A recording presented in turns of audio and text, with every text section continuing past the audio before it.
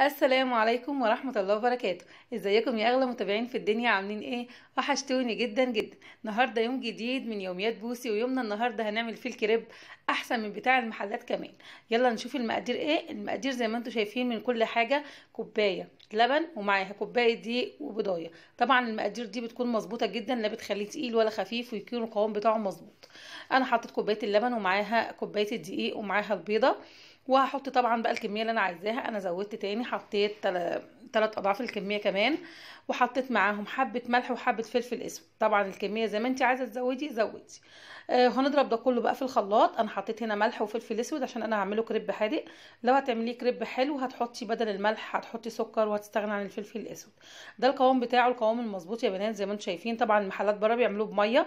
مش بيكون نضيف زي البيت طبعا مش بيحطوا لبن ولا بيحطوا حاجة من دي بيعملوه بميه بس. فانت هنا هتعملي حاجة نظيفه لاولادك أنا هنا جبت طاسة. الطاسة دي تكون تيفال أو يعني غير قابلة للالتصاق ما يكونش بتلزق. فبتحطي الطاسة على النار. لما بتسخن وبتاخدي كمية مناسبة كده على حجم الطاسة لو الطاسة صغيرة بتحطي حبة صغيرين. ولو طاسة كبيرة طبعا بتحطي كبشة كبيرة زي كده. الطاسة هنا معايا خدت كبشة واحدة بس وبعد كده بلف الطاسة في جميع الجهات لما أوزع الكريب في جميع الجهات وبعد كده بقلبه لما يديني لون من تحت. زي ما أنتم شايفين هي كبشة كده واخد الطاسة ألفها لحد ما العجين يقف معايا وما يبقاش فيه عجين تاني. طبعا الطاسة سخنة فالعجين كله خلاص اتوزع على حرف حروف الطاسة كلها. طالع طري وجميل جدا زي ما أنتم شايفين حلو قوي قوي. طبعا أنا ما بقلبهاش غير لما اللون الأبيض اللي على الوش بتاع العجين بيروح وبيبقى اللون من على الوش كله لون واحد وأصفر. طبعا لازم الكريب اللي أطلعه أغطيه بفوطة نظيفة علشان يفضل طري معايا وما ينشفش. حتى لو التانى معانا ما بيتقطعش لأن هو مظبوط والمقادير بتاعته مظبوطة جدا. كل ما نطلع واحدة وكل ما نطلع واحدة بنغطيها علشان تفضل طرية زي ما أنتم شايفين كده. ما بياخدش وقت خالص خالص. مجرد ما بيتشمع بس من على الوش بروح قلباه على الجهة التانية. كده خلاص أنا خلصت كمية الكريب عندي وطالعه حلوة جدا وطرية. ومش تخينة يعني مش تخينة كده ولا تقيلة لأ خفيفة ورقيقة وحلوة ومظبوطة. آه أنا معايا هنا الكاتشب ومعايا آه بانيه كان معمول عندي برضو بانيه وعندي بطاطس وعندي أي بقى حاجة خضراء خاص طبعا الحشوات دي على حسب ذوقك. ممكن تستغني عن البانيه وتحطي مكانه سجق أو كفتة أو أي حاجة موجودة عندك. ممكن بطاطس وكاتشب بس. آه طبعا مع آه عندك خاص بيكون حلو برضو بالخاص. لكن أنا عندي جرجير فأي حاجة خضراء بتحطيها فيها. أو الحشو ده على حسب بقى ما عندك آه ممكن بتحطي فيه شاورما بتحطي فيه آه بص على حسب ذوقك وحسب ما عندك تمام؟ فهو الموجود كان عندي زي ما وريتكم البطاطس وعندي بانيه وعندي جرجير وصوص الكاتشب.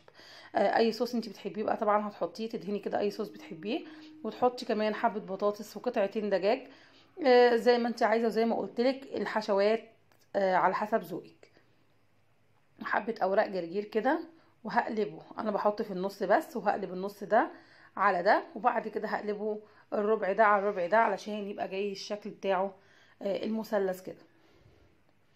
طبعا طاسة على النار حاطة فيها نقطتين زيت ومسحاها بس مسحة بسيطة وبحط الكريب علشان ياخد وش من تحت وبعد كده أقلبه ياخد وش الناحية التانية. طبعا اليوم بتاع الكريب ده مش قادرة أقول لكم بيبقى الأولاد مبسوطين بيه قد إيه. وحاجة نظيفة ومضمونة وعاملاها في البيت ومش هتاخد معانا وقت ومقاديرها سهلة جدا. طبعا لو عندك مايونيز عندك مستردة أي صوص أنت بتحبيه هتحطيه مش شرط يعني الكاتشب. الكاتشب ده يا بنات اللي عملناه مع بعض وهحط لكم ال link بتاعه في صندوق الوصف بتاع الكاتشب. إحنا اللي عاملينه في البيت مع بعض فيديو قديم. مجرد ما ياخد اللون زي كده هقلبه اللون الذهبي الحلو ده هقلبه على الناحية التانية برضو ياخد وش وبعد كده أطلعه. لو حابة تحطي فيه جبنة موتزاريلا تحبه تحطي أي نوع جبن انت بتحبيها هتحطي كمان نوع الجبن اللي انت بتحبيه. زي ما قلت لكم الحشوات هو بيبقى زي البيتزا كده بالظبط. انت بتعملي العجينة وبتحطي بقى الحشو على حسب ذوقك.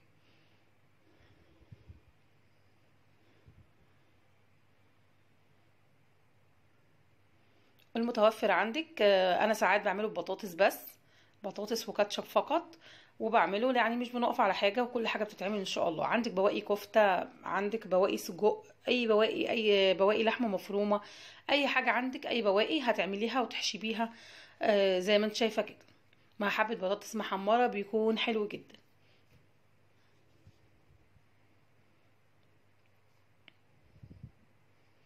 هخلص بقى كده باقي الكمية كلها وأبقى أرجع لكم تاني.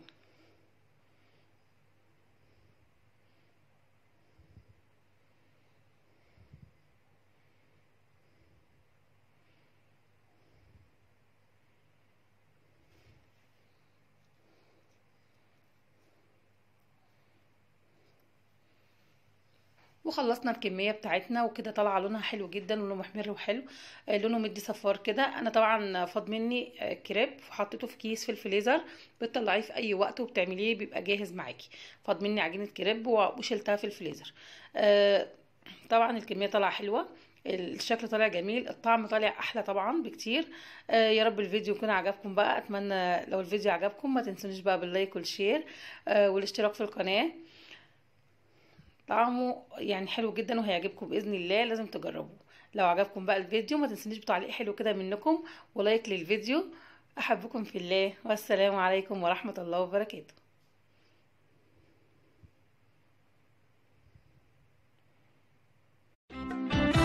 يا سلام على طاجن بامية وعليه حتة موزة.